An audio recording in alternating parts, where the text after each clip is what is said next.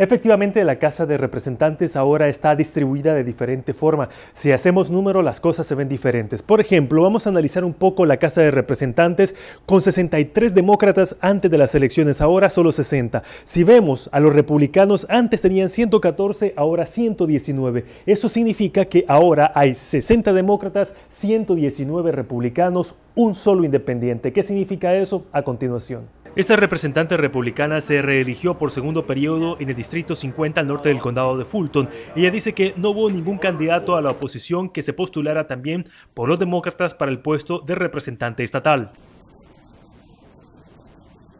No creo que hasta este momento vayamos a tocar ese tema. Debemos observar la aplicación de la ley HB 87 y cómo esta afecta a los residentes de Georgia. Y creo que hasta este momento estamos en una posición de observar y esperamos de que se aplique positivamente.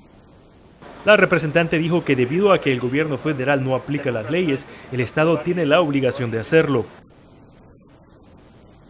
Estamos muy complacidos hasta el momento en cómo la ley HB 87 se está implementando.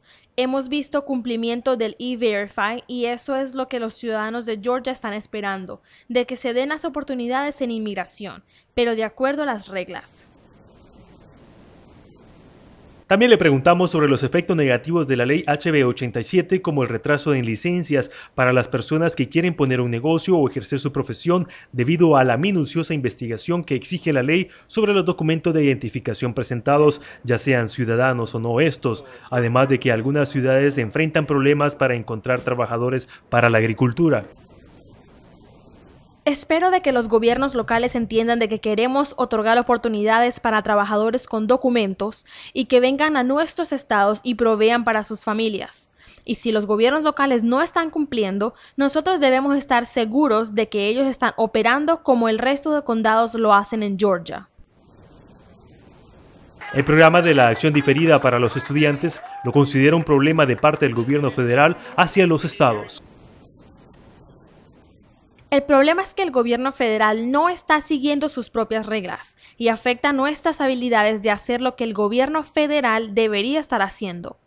El representante demócrata Pedro Marín dice de que se esperaría una postura más agresiva para poder terminar con la presencia de trabajadores indocumentados en las zonas de agricultura. Eh, tapar ciertos huecos eh, especialmente de la HB 87. El analista político Teodoro Maus cree que la próxima sesión legislativa podría también estar enfilada hacia atacar aún más la inmigración indocumentada que al final se vuelve en contra de los inmigrantes en general. Cuando todos los demás estados aprueben una reforma migratoria, entonces este, Georgia tendrá que hacerlo eh, a la fuerza.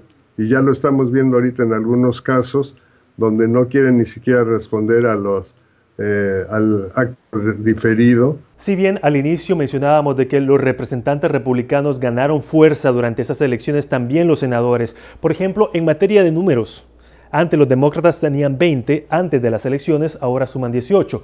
También los republicanos cambiaron los números, de 36 pasaron a 38, lo que hace una diferencia de 20 republicanos sobre los demócratas para un total de 56.